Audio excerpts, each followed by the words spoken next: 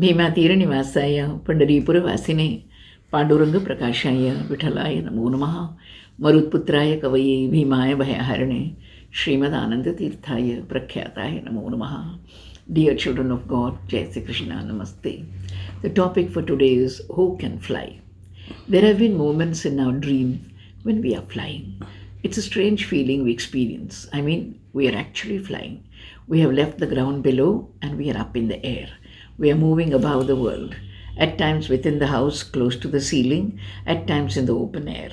Wherever it be, we feel a sense of lightness, strange, peculiar lightness, as if we had no weight at all. We are happy and we see the world from that height. That's also fascinating. Now let us analyze who can fly. Actually, fly. We know our hero in the Ramayana, Sri Hanumanji, could fly across the ocean to see Mother Sita in Lanka. Let us first study the background of this flight. An ordinary man cannot fly. Sri Hanumanji himself cannot believe he can fly. What happens then is important. A senior in the community, a senior bear called Jambavan, inspires him with courage, discovers the giant in him for himself, reminds him of his great father, the wind god Vayu, recollects his father's assurance to his mother Anjana that a brave son will be born to her who will outshine others in bravery and wisdom. All this pep talk makes Sri Hanumanji rise up with confidence to get ready to fly.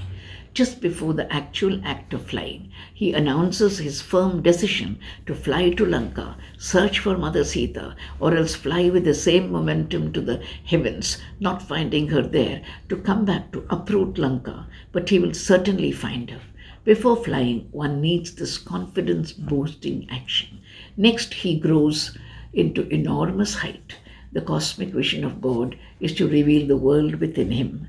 The Vishwarupa of the devotee is to reveal the power of God within him.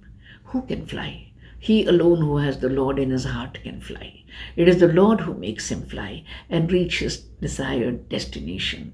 Next, he prays to his father, the wind god, for two reasons. We in Hinduism believe that our dear parents are gods incarnate. After praying to Vayudeva, his father, he is invoking his blessings for the flight. Only the wind can make us fly. Thus, this prayer is an impeller and propeller for the flight. Thereafter, we realize he who does not have an ego, he alone can fly.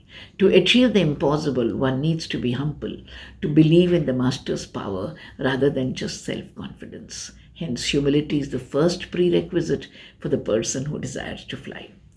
There is one more qualification. The flyer must have a mission in order to achieve the impossible. The mission is noble to reunite Lord Rama with his divine spouse, Mother Sita. When one has a great mission, a noble mission, a selfless mission, then flying is like child's play. One is not nervous, scared, or hesitant to take the leap and then take off. Finally, the one who is flying has the signet ring of Sri Rama. He is an official messenger, authentic messenger, trustworthy messenger, confidential messenger, hence confident and successful messenger of the Lord. When he has convinced Mother Sita about his credentials, she showers a matchless accolade on him Vikrantasthvam, Samarthastvam, Pragnastvam, Vanarottama. You are brave, capable, and wise, O best among the Vanaras. That is why he could fly. कपि सुग्रीव की बात बताई। हनुमन रघुवर को मन भाए। रामानुज कपिराज दिलाए। रामानुज कपिराज दिलाए। जनक सुता थी पानी। जनक सुता थी पानी। सिया राम सिया राम सिया राम। बोलो सिया राम सिया राम सिया राम जय जय राम जय जय राम जय जय राम जय जय राम जय जय राम जय जय राम जय जय राम जय जय राम जय जय राम जय जय राम जय जय राम जय जय राम थैंक यू